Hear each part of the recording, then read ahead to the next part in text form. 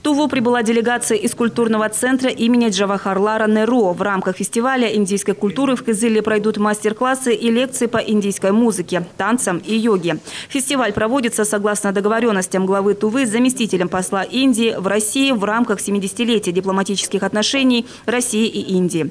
Также любители и поклонники болливудского кинематографа смогут посмотреть новинки индийского кино. 17 и 18 все желающие смогут посетить мастер-класс по индийской йоге. Тувинская продакшн-компания «Ава Медиа» стала лауреатом Всероссийского телевизионного конкурса «Федерация» в номинации «Бренд региона. Промо-ролик». Работа «Кызыл – это я» получила признание экспертного состава жюри. Отмечается, что «Ава Медиа» уже второй год становится победителем этого телевизионного конкурса.